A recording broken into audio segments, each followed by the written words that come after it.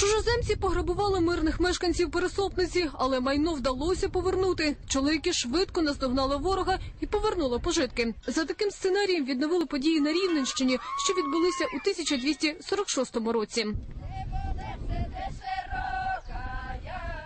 Дзвін мечів перервав святкування весілля. На полі з'явилися розвідники. Після цього підійшли основні сили ворога. Почалася битва.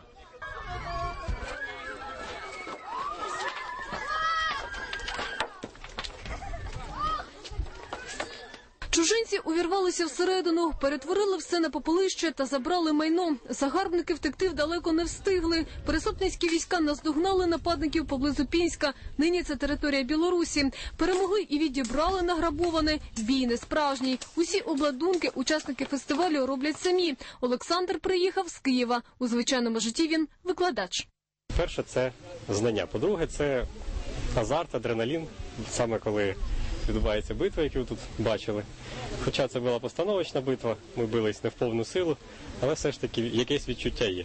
Є фестивалі, на яких відбуваються більш жорсткі бої, там дійсно більше і адреналін, і адреналіну, і азарту.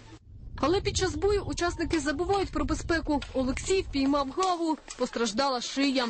Это было супер. Просто шея там Реконструкція бою для деяких стає сенсом життя, не зупиняє народження дитини. Ми з чоловіком, е, в принципі, почали їздити по фестивалях ще коли навіть у нас не було дитини. От е, їздили, ну їздимо приблизно 3, 4, 5 фестивалів на рік. От коли з'явилася дитина, вже в 11 місяців перший раз вже брали його теж на фестиваль. От йому дуже подобається.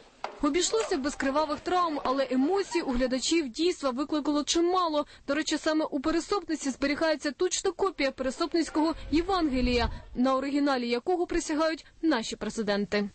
Цей музей скаже багато про іс- історію на Україну і, і, і на Рівненській області, на Рівненський район. І, і я, я була два рази, і я читала і бачила, як, як ця земля було дуже-дуже багато років тому.